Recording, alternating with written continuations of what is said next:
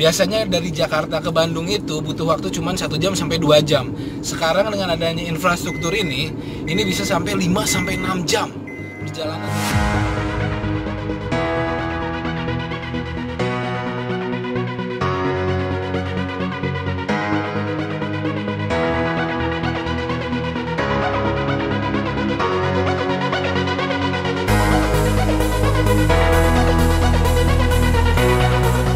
Yo, guys? Ketemu gue lagi Windy di channel YouTube Kita Property Indonesia.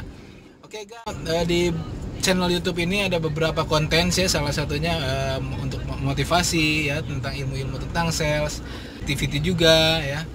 Eh, kali ini gue mau buat konten yang baru untuk kita properti Indonesia. Ya kontennya adalah infrastruktur. Kenapa gue pilih infrastruktur? Karena konten infrastruktur ini sangat dekat sekali dengan properti ya berkembangnya tentang properti, berkembangnya nilai harga sebuah properti itu uh, uh, ditentukan oleh bagaimana infrastruktur di sekitarnya. Oke, jadi uh, gue nanti ke depannya akan ngebahas tentang uh, infrastruktur-infrastruktur yang ada di Indonesia. Salah satunya adalah tol. Oke, yang bakal gue review adalah pertama itu review tol mengenai jalan tol Jakarta Cikampek Elevated 2 ya jalan tol Jakarta Cikampek dengan uh, tol layang uh, disebut dengan Jakarta tol layang Cikampek 2 ya. Jadi nanti dari Jakarta sampai ke arah uh, Karawang Karawang Barat ini akan ada jalan layang tol. Jadi yang di atas itu adalah jalan khusus untuk mobil-mobil ber, uh, beroda 4 ya mobil-mobil pribadi seperti sedan dan lain-lainnya. Sementara nanti rencananya di bawahnya itu adalah uh, untuk bermuatan yang besar seperti truk ya. Itu ada di bawah semuanya tuh. Jadi uh, nanti Jakarta Tol Cikampek ini gak akan macet seperti sekarang guys. Lu bayangin biasanya dari Jakarta ke Bandung itu butuh waktu cuma satu jam sampai 2 jam. Sekarang dengan adanya infrastruktur ini ini bisa sampai 5 sampai 6 jam perjalanan dari Jakarta ke Bandung karena ada progres pembangunan infrastruktur ini ya. Tapi memang pembangunan infrastruktur seperti ini bi biasanya ya ya harus dirasakan e, pertamanya pahit seperti ini dulu kita nyobain macet-macetan dulu ya. Tapi nanti ke depannya setelah, setelah jadi wow itu kita semua publik masyarakat umum yang sering melewati jalur lalu lintas e, Jakarta Tol Cikampek ini akan menikmati guys ya.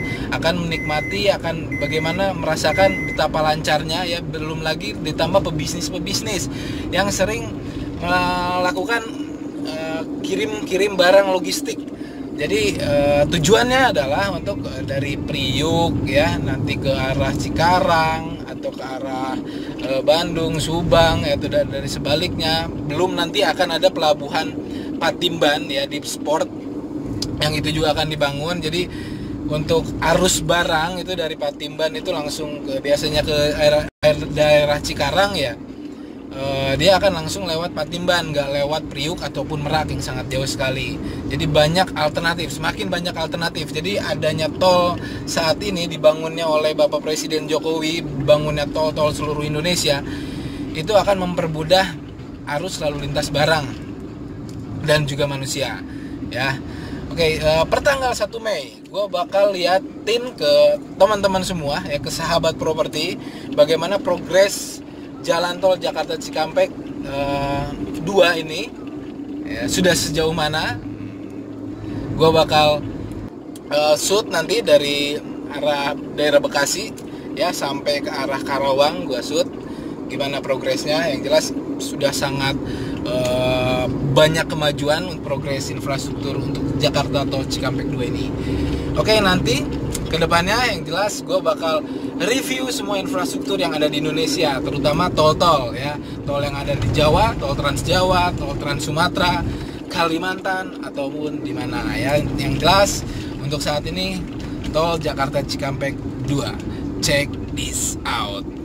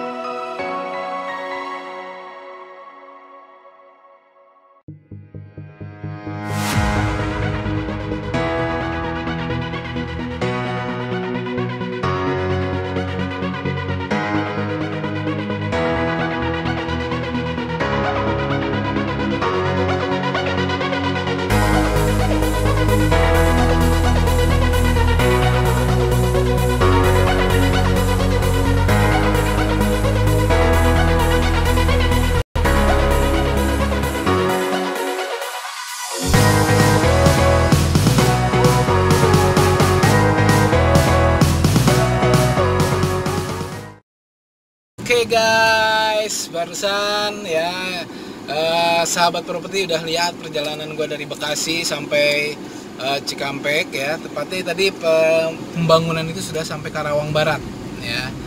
Jadi sudah tiang-tiang pancangnya juga sudah berdiri ya, rata-rata sudah hampir berdiri, tinggal tinggal sistem sosro bahu itu ya yang dinamakan sosro bahu ini diputer-puter. Nah diputer-puter dipasang dengan uh, jalan-jalannya di atas tinggal disambung-sambungin. Uh, seperti sedikit lagi memang targetnya pemerintah itu di akhir 2019 ini sudah jadi ya.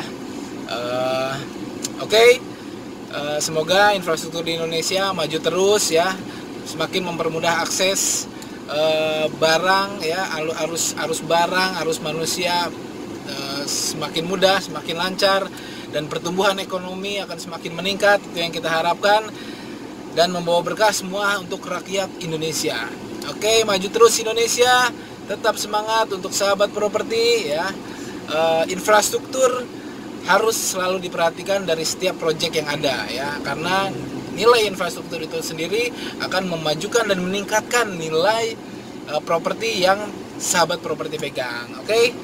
Sampai ketemu lagi, tetap semangat, tetap jualan. See you next time, guys.